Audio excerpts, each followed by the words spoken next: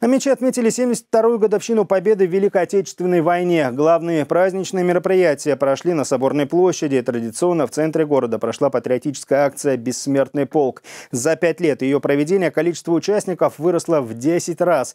Как сегодня потомки фронтовиков вспоминают подвиг солдат-победителей в сюжете Елизаветы Васильевич. 9 мая – это праздник, который объединяет всех граждан нашей страны, независимо от возраста и национальности. Тысяча мечей собрались на Соборной площади. Парад начинается с торжественного построения войск Омского гарнизона.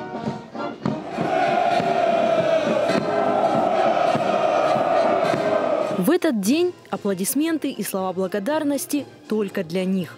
Торжественном кортеже из семи ретро-автомобилей – Войны Победы. Для Николая Казикина война началась за пределами СССР. Молодой лейтенант освобождал Чехию и Австрию.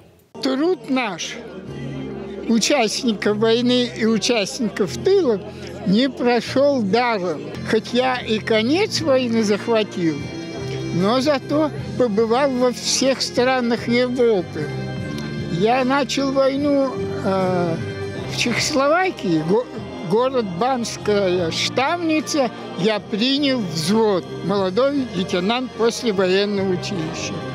Прибытие парадного эскорта ветеранов по традиции тепло приветствовали участвующие в параде военнослужащие и многочисленные зрители. Торжественное построение войск Омского гарнизона началось с выноса флага России и копии Знамени Победы, символа отваги советского солдата, частицы души каждого гражданина России. Следом на площади появились штандарты воинских соединений и частей, сформированных в Омской области в годы войны.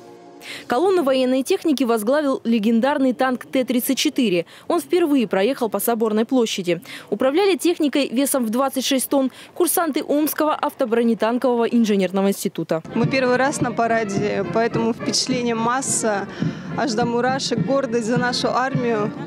Все очень нравится. Ребенку первый раз показываю. 9 мая в Омске уже в пятый раз прошла патриотическая акция «Бессмертный полк». Огромная колонна людей следовала маршрутом от областной библиотеки имени Пушкина до Иртышской набережной. Люди прошлись по Красному пути, Соборной площади, улицы Ленина. Более 50 тысяч человек вышли с портретами родственников фронтовиков. Наряду со взрослыми в многокилометровую колонну встали тысячи детей, школьников, студентов. Волонтеры многочисленных общественных организаций помогали инвалидам, которые впервые приняли участие в акции. Шествие завершилось торжественным митингом. Брат приехал из Казахстана, я сама живу в Омске. Ну, чтобы почтить память как бы деда, мы пришли на бессмертный полк. Сотрудники областной детской клинической больницы вспоминали своих учителей, а также тех, кто работал, спасая жизни в полевых условиях и госпиталях.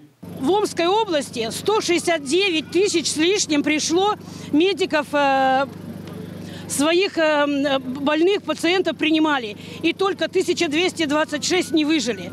А по общей статистике санинструктор и врач, они жили всего по 47 секунд. Вы почитайте это. И вернули в строй в ряды Красной Армии 56 процентов. Почти 300 тысяч наших земляков ушли на фронт. 152 тысячи амичей погибли и навечно занесены в книгу памяти. На берегах Иртыша было сформировано 6 стрелковых, 2 кавалерийские дивизии добровольческая стрелковая бригада. Они защищали Москву, насмерть стояли у стен Сталинграда, героически сражались в Курской битве, освобождали Белоруссию, Украину, Прибалтику, брали Берлин. За мужество и героизм на фронтах Великой Отечественной войны тысячи амичей награждены высокими правительственными наградами. Их имена внесены в многотомные издания «Солдаты Победы». А память чтят потомки. Елизавета Васильевич, Юлия Боброва, Дмитрий Головко, Константин Демиденко и Сергей Степанишин. Новости здесь, Омск.